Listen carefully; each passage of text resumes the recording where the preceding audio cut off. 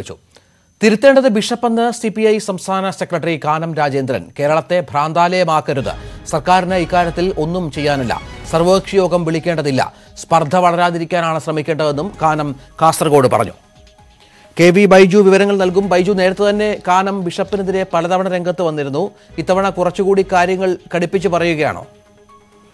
തീർച്ചയായും രഞ്ജിത്തെ ഇത് നിലപാട് തന്നെ കാലം കാസർകോട്ടും ഇപ്പോൾ ആവർത്തിച്ചിരിക്കുന്നു. ഈ സർവകക്ഷി യോഗം വിളിക്കേണ്ടതില്ല. അത് മാത്രമല്ല സർക്കാരിന് ഇക്കാര്യത്തിൽ ഒന്നും ചെയ്യാനില്ല എന്നാണ് കാനം രാജേന്ദ്രൻ കാസർകോട്ട് പറഞ്ഞത്. മാത്രമല്ല തിരുത്തേണ്ടത് പാലാ ബിഷപ്പാണെന്നും കാനം രാജേന്ദ്രൻ പറയുന്നു. ഈ കേരളത്തെ ഇത്തരത്തിൽ ഭ്രാന്താലയമാക്കരുത്.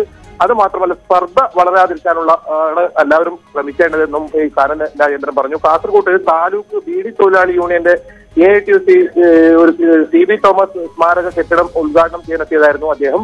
എന്തായാലും ആ നിലപാട് തന്നെ അദ്ദേഹം ഇപ്പോഴും ആവർത്തിക്കുന്നുണ്ട്. ശരി.